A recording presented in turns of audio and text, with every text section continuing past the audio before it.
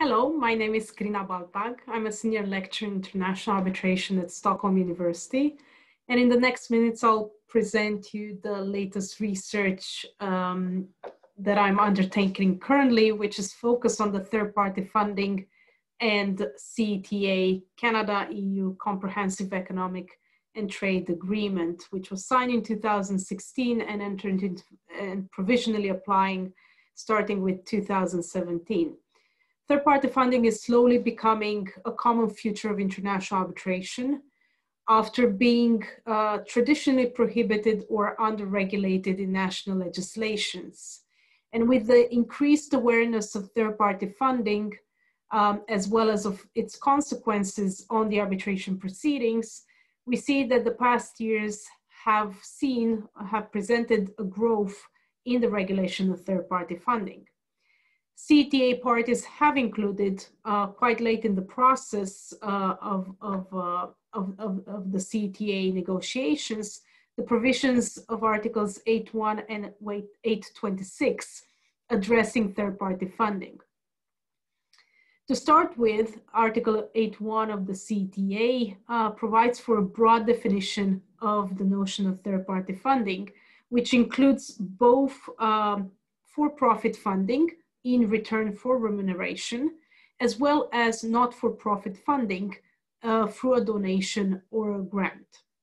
Article 826 of the CETA is more concerned with the implications of third-party funding in the context of investment uh, disputes between investors and states and provide for the disclosure of the name and address of the third-party funder either at the time of the submission of the claim if existing at the time, or as soon as the funding is in place if this occurs after the submission of the claim.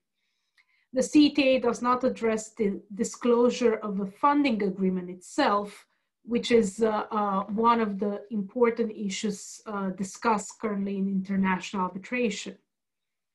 The CETA does not address the issues of third-party funding in the context of provisional measures, uh, more specifically security for costs a different approach is taken by other uh, treaties entered into by the EU, including the EU-Vietnam uh, FTA Investment Protection Agreement, which expressly provides that tribunals shall take into account whether there is uh, third-party funding in deciding on security for costs.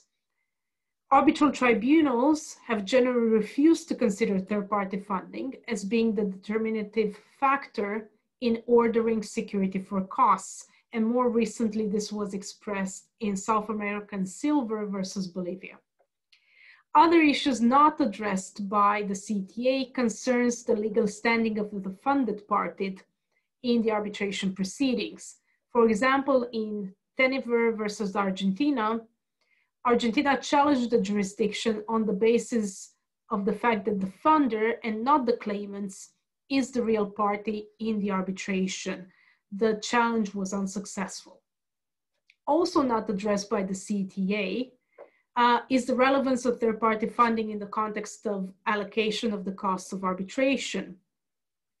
In the joint cases, Ioannis Kardassopoulos versus Georgia and Ron Fuchs versus Georgia, Georgia argued that the costs of arbitration should not be covered because there is a third party in place. The tribunal rejected Georgia's submission and held that it is unaware of any principle supporting the proposition that a third party financing agreement should be taken into consideration in determining the amount of recovery by the claimants of their costs. Now, third party funding is uh, um, one of the hot topics in debate in the context of the reform of investor state dispute settlement, and in particular, before the UNCITRAL Working Group 3, which concerns the ISDS reform.